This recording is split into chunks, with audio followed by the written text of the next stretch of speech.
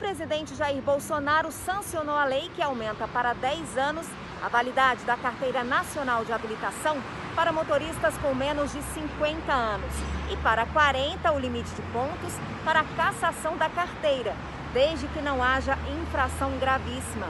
Entre os trechos vetados está o que limitava a circulação de motocicletas entre veículos apenas quando o trânsito estivesse lento ou parado. As novas regras passam a valer daqui a 180 dias. A qualquer momento eu volto com mais informações aqui de Brasília para o Fala Brasil.